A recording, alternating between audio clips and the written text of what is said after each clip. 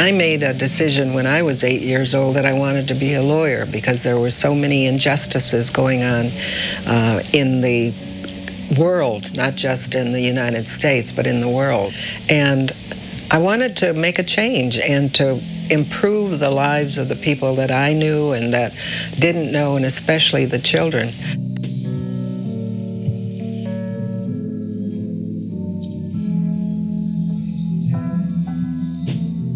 Now that I'm an older person, and I still have my dreams that I thought about, about trying to change the world, making a difference in the world.